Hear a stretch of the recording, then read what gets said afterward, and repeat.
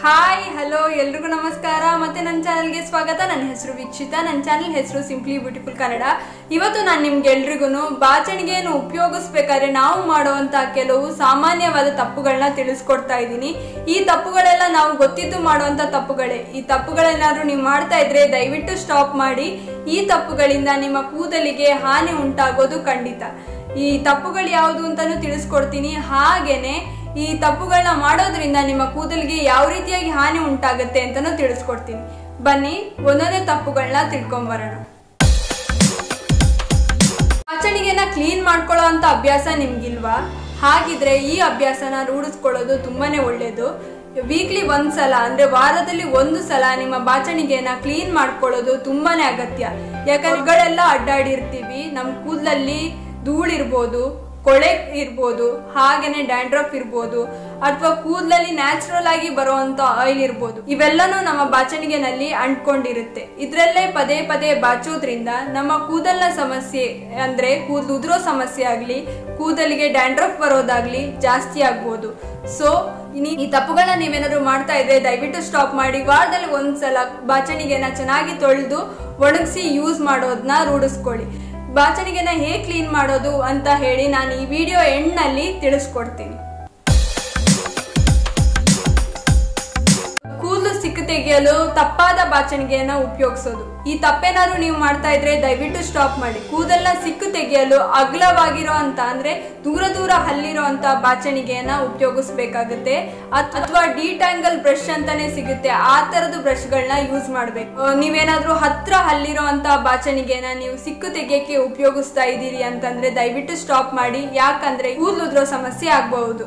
ಯಾಕಂದ್ರೆ ನಾವು ಸಿಕ್ಕು ತೆಗಿಬೇಕಾದ್ರೆ ಬುಡದಿಂದ ನಾವು ಕೂದಲನ್ನ ಎಳಿ ಎಳಿತೀವಿ. ಎಳಿಬೇಕಾದ್ರೆ ಕೂದಲು ರೂಟಿಂದ ಡೆಲಿಕೇಟ್ ಆಗಿ ಕೀಳೋ ಅಂತ ಸಾಧ್ಯತೆ ಜಾಸ್ತಿ. ಆದ್ರಿಂದ ಆದಷ್ಟು ದೂರ ದೂರ ಅಲ್ಲಿರೋ ಅಂತಹ ಅಥವಾ ಡಿಟ್ಯಾಂಗಲ್ ಬ್ರಷ್ ಅಂತಾನೆ ಸಿಗುತ್ತೆ, ಇದನ್ನ ಉಪಯೋಗಿಸೋದು ತುಂಬಾನೇ ಒಳ್ಳೇದು. ಮನೆಯಲ್ಲಿರೋ ಎಲ್ರು ಒಂದೇ ಬಾಚಣಿಗೆನ ಯೂಸ್ ಮಾಡ್ತಾ ಇದ್ದೀರಾ?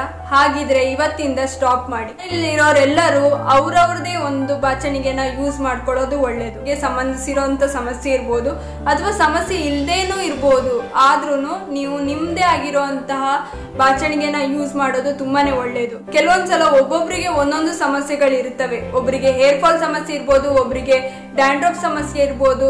ಇದೇನಾಗುತ್ತೆ ಅಂದರೆ ಒಂದೇ ಕೋಮಿಂದ ಎಲ್ಲರೂ ಬಾಚೋದ್ರಿಂದ ನಿಮ್ಮ ಸಮಸ್ಯೆಗೆ ಪರಿಹಾರ ಸಿಗೋದಿಲ್ಲ. ಯಾಕಂದ್ರೆ ನಿಮಗೂ ಅದು ಬರ್ಬೋದು ಅಥವಾ ನಿಮ್ಮಲ್ಲಿ ಏನಾದ್ರು ಡ್ಯಾಂಡ್ರಫ್ ಸಮಸ್ಯೆ ಇದ್ರೆ ಅವ್ರಿಗೂ ಬರ್ಬೋದು ನಿಮ್ಮಿಂದ.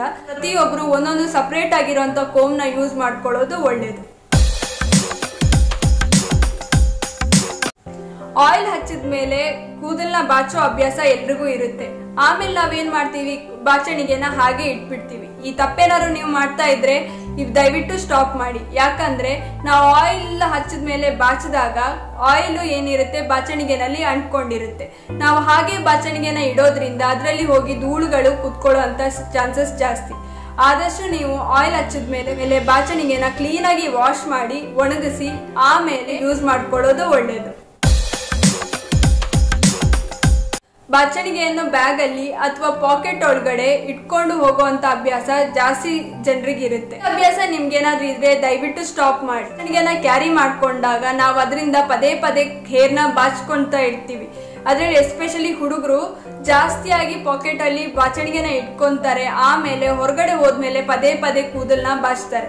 ಈ ರೀತಿ ಅಭ್ಯಾಸ ಜಾಸ್ತಿ ಇರೋದು ಹುಡುಗರಿಗೆ. ಹೋಗಿದ ತಕ್ಷಣ ಕೂದಲ್ನ ಸೆಟ್ ಮಾಡ್ಕೊಳಕ್ಕೆ ಅಂತ ಬಾಚ್ಕೊಳ್ಳೋದು ಹೊರಗಡೆ ಆಲ್ರೆಡಿ ಡಸ್ಟಿಗೆ ಹೋಗಿರ್ತಾರೆ. ಅದ್ರ ಮೇಲೆ ಕೂದಲ್ನ ಪದೇ ಪದೇ ಬಾಚ್ತಾ ಬಾಚ್ತಾ ಇದ್ರೆ ಕೂದಲಲ್ಲಿ ಬೆವರು ಡಸ್ಟು ಇವೆಲ್ಲ ಫಾರ್ಮ್ ಆಗಿರುತ್ತೆ. ಕೂದಲು ಉದುರೋ ಚಾನ್ಸಸ್ ಜಾಸ್ತಿ.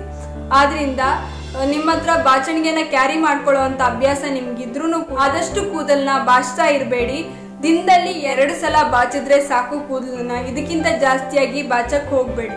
ಹಾಗೇನೆ, ನೀವು ಯಾವಾಗ್ಲೂ ಕ್ಯಾರಿ ಮಾಡುವಂತ ಬಾಚಣಿಗೆನ ಕ್ಲೀನ್ ಮಾಡ್ಕೊಳ್ಳೋ ಅಂತ ಅಭ್ಯಾಸನ ರೂಢಿಸ್ಕೊಳ್ಳಿ. ಹಾಗೆ ಬಾಚಣಿಗೆನ ಇಟ್ಕೊಂಡು ಪ್ರತಿದಿನ ಅದೇ ಬಾಚಣಿಗೆನ ಉಪಯೋಗಿಸ್ತಾ ಇದ್ರೆ ದಯವಿಟ್ಟು ಸ್ಟಾಪ್ ಮಾಡಿ.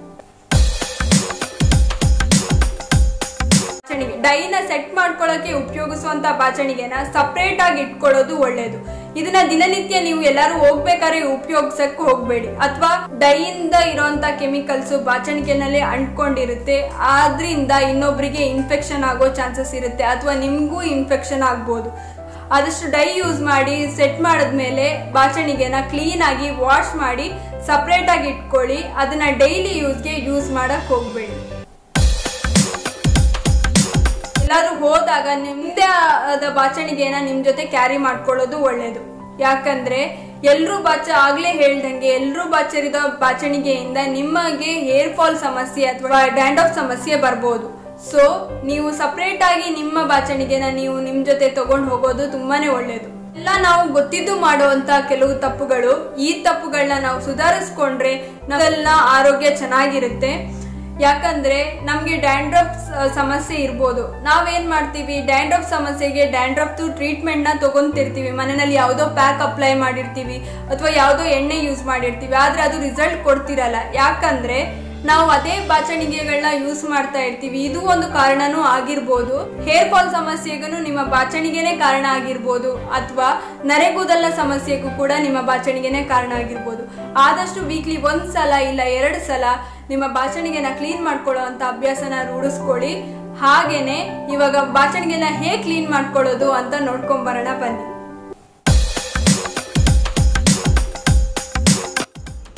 ಬಿಸಿನೀರನ್ನ ತಗೊಳ್ಳಿ. ಅದಕ್ಕೆ ಸ್ವಲ್ಪ ಸೋಡಾ ಪೌಡ್ರ್ ಅಂದರೆ ಒಂದು ಸ್ಪೂನಷ್ಟು ಸೋಡಾ ಪೌಡರ್ನ ಹಾಕಿ ಅದರಲ್ಲಿ ಬಾಚಣಿಗೆನ ನೆನೆಸಿಡಿ. ಅರ್ಧ ಗಂಟೆಗಳ ಕಾಲ ಬಾಚಣಿಗೆನ ನೀರಲ್ಲಿ ನೆನೆಸಿಡಬೇಕಾಗುತ್ತೆ.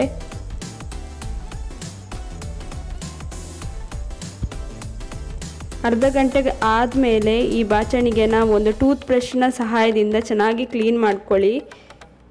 ಈ ರೀತಿ ನೀವು ವಾರಕ್ಕೊಂದ್ಸಲ ಮಾಡಿಕೊಂಡ್ರೆ ಸಾಕು ಕಂಪ್ಲೀಟಾಗಿ ಕ್ಲೀನ್ ಆಗುತ್ತೆ.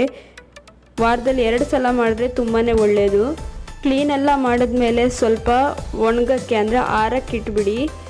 ಆಮೇಲೆ ನೀವು ಯೂಸ್ ಮಾಡ್ಕೋಬೋದು. ಅಂದ್ರಲ್ಲ ಹೇಗೆ ಈ ಬಾಚಣಿಗೆನ ಮನೆಯಲ್ಲೇ ಕ್ಲೀನ್ ಮಾಡ್ಕೋಬಹುದು ಅಂತ ಈ ರೀತಿಯಾಗಿ ಕ್ಲೀನ್ ಮಾಡ್ಕೊಳ್ಳೋದ್ರಿಂದ ಇದೆಲ್ಲ ಸಮಸ್ಯೆನೂ ಕಡಿಮೆ ಆಗುತ್ತೆ ಅಂತ ಹೇಳ್ಬೋದು. ವಿಡಿಯೋ ನಿಮ್ಗೆ ಇಷ್ಟ ಆಗಿರುತ್ತೆ ಅಂತ ಅನ್ಕೊಂಡಿದೀನಿ. ಹೇಗೆ ಅನ್ನಿಸ್ತು ಅಂತ ಕಮೆಂಟ್ ಸೆಕ್ಷನ್ ಅಲ್ಲಿ ತಿಳಿಸೋದನ್ನ ಮರಿಬೇಡಿ. ಆದಷ್ಟು ಈ ವಿಡಿಯೋನ ನಿಮ್ಮ ಫ್ರೆಂಡ್ಸು ಮತ್ತು ಫ್ಯಾಮಿಲಿ ಜೊತೆ ಶೇರ್ ಮಾಡಿ.